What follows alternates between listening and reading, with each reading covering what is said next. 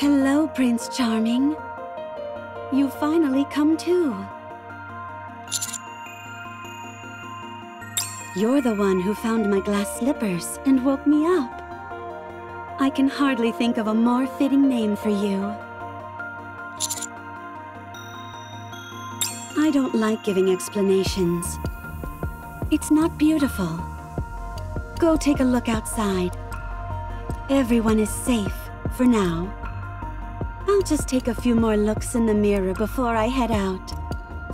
I must maintain my beauty.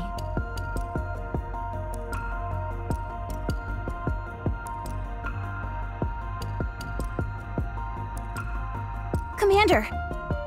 Master?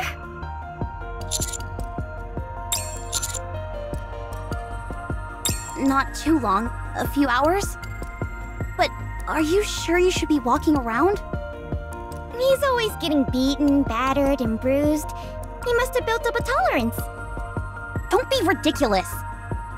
Having said that, you did recover awfully quickly. Almost unnaturally so.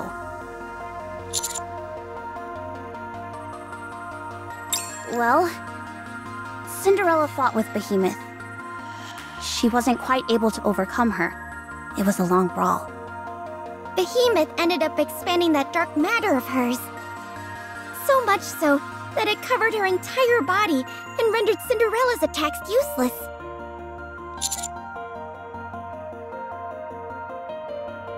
It didn't feel like that. It felt more like a last-minute gambit done out of desperation. She appeared to be in severe pain. So we took advantage of that and escaped.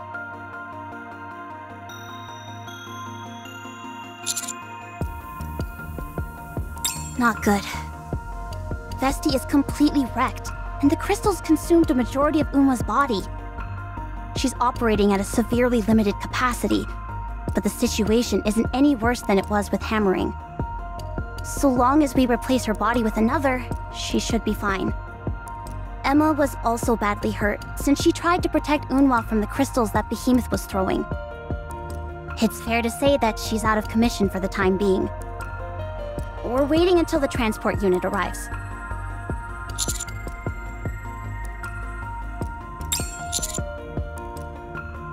Her body was torn to shreds, so Mana is looking after her. Apparently, if you're injured to that extent, your consciousness typically shuts down automatically. Samana was surprised she held out for so long. Still, Mana said she can repair her. Since Grave has the body of a mass-produced Nikke, swapping it out for a new one shouldn't be too difficult.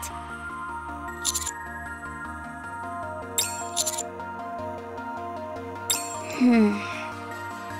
Being so soundly defeated by Behemoth got into her head for a bit. But she's fired up and determined to get revenge. She's currently with Absolute. She told us she wanted to say farewell. Yes. Don't get it. She's gonna see them soon enough, so why say goodbye? Not like that. An emotional farewell. Uh... Anyways, that's the situation so far. Shifty said she'll fill us in on the next step of the plan when she gets details. Let's rest until then.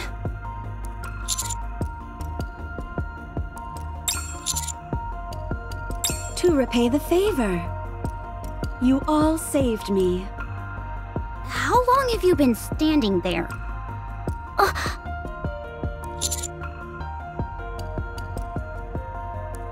I wish to join you in reclaiming the surface. It's something I should have done a long time ago. I'm looking forward to it. Now, about that thing I mentioned.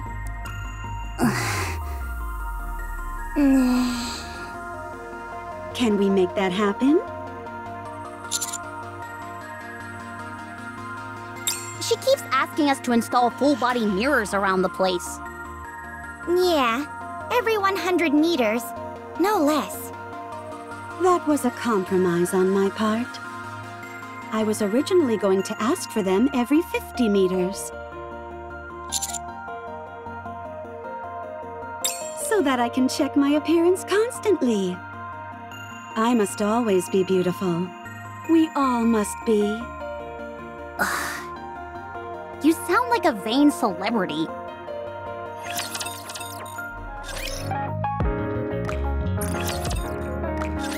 The transport unit is scheduled to arrive within an hour. How are you feeling? I'm okay. It's nothing fatal. Is Vesti stable? Yeah. She's asleep now. If she stayed awake in her current state, she'd be likely to suffer a mind switch. I see. How about you, Yulha? Are you okay? I said don't call me by my name. Get away from me, will you? I can move fine without your help. I'm sorry. What? Here we go. I'm sorry for leaving without saying anything. Truly. Ugh. I... I wanted to become Red Hood.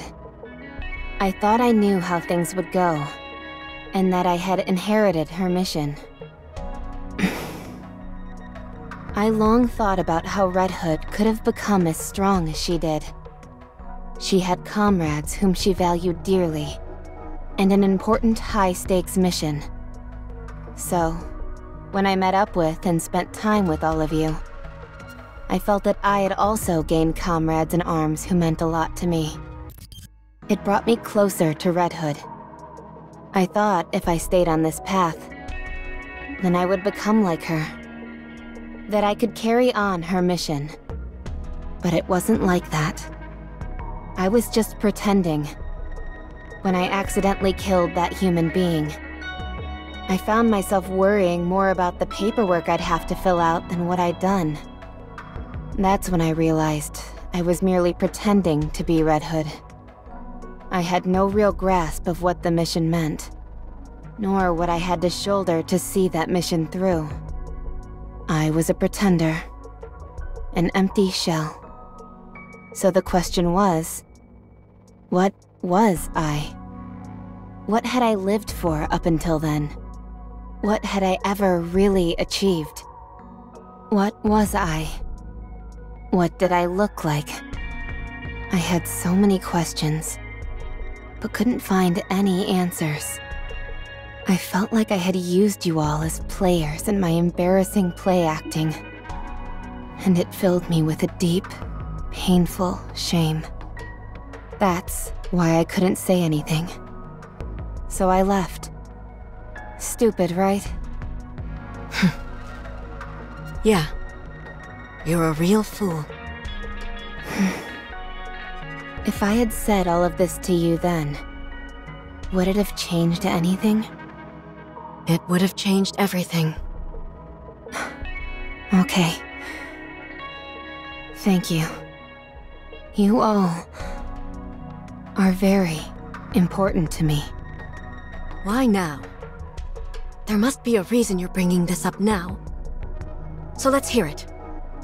I didn't want any of you to stop because of me.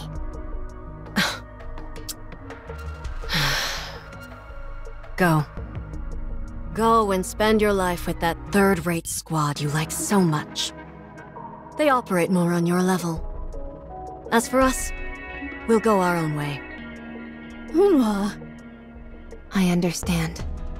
Take care of yourselves. I'm going now, Emma. Rapi. Thank you for being brave. Is this what you call bravery? Everyone has a different definition of it. Thank you. Um. See you around. Rapi. Yes. See you around. Yulha. Hmm. You forgave her so easily. You're right. Maybe I just wanted to hear an answer. It was quite simple, wouldn't you say? It's time to initiate tactical up. Oh my. You mean the one Ingrid prepared? I thought you were dead set against that. Why the sudden change? Now we don't have to leave an empty spot for her. My concern was that if we proceeded with that plan, she'd never have a spot on this team again. And that saddened me. But it's okay now, since she won't be coming back. Hmm. Yeah. Let's become the best we can be. Just us three.